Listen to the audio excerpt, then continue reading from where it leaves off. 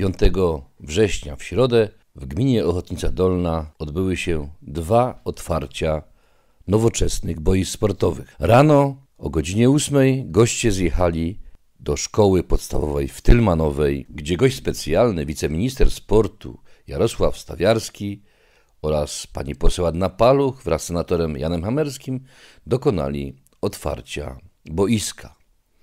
Radość dzieci, wielość gości zaproszonych, rzucanie piłek do kosza, prezent w postaci kosza z piłkami od wiceministra, to wszystko spowodowało, iż moment ten na pewno wpisze się w pamięć uczniów szkoły podstawowej i mieszkańców Tylmanowej.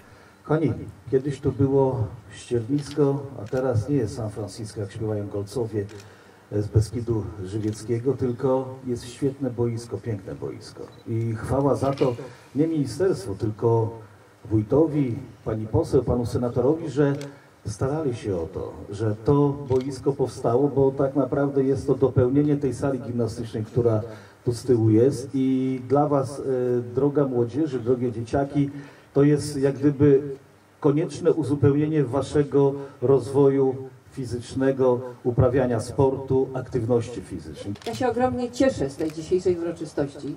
E, To jest widomy znak, że tutaj na zawodziu w Tylmanowej e, młode pokolenie, które tak pięknie tutaj nas dzisiaj przywitało, ma dobre warunki e, nauki, pracy, wypoczynku, uprawiania sportu. Po południu otwarto boisko przy szkole podstawowej w Skrodnym.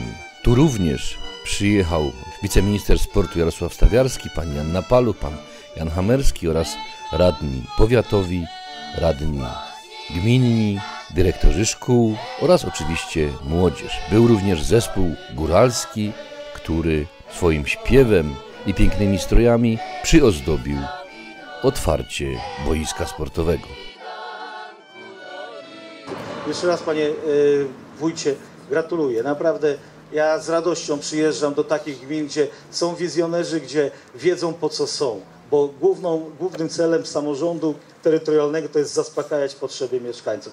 A zaspokajać potrzeby tych, tej części, tego targetu, tej części społeczeństwa, czyli naszych pociech, to jest chyba największa sprawa i gratuluję pomysłu. Dziękuję Aniu za to, że pokazałeś mi parę miejscowości tu na tym podhalu skalistym, zielonym, gorczańskim, jak to się nazywa, że tu są świetni ludzie, którzy potrafią e, robić coś dobrego dla lokalnych społeczności, a takim przykładem jest wójt Jurkowski. Także gratuluję Aniu, dobrych ludzi, których tutaj masz, gratuluję panie wójcie i gratuluję dzieciaki, że macie tak wspaniałe boisko. A jak będzie wójt coś jeszcze chciał, będzie miał jakieś pomysły, to zapraszam do ministerstwa, bo naprawdę znajdą się pieniądze na dobre pomysły. Jeszcze raz gratuluję. Dziękuję bardzo panie ministrze, że takie projekty powstają, dzięki którym możemy budować takie miejsca dla tych wspaniałych dzieci. Przecież to sama radość. Żeby mogli dorównać miastu, Europie, światu. Przecież my nie jesteśmy gorszym narodem. A w zasadzie góral mówią też, że wyżyje na kamieniu. Proszę spojrzeć, dookoła kamień, a w środku piękny europejski, piękny europejski obiekt.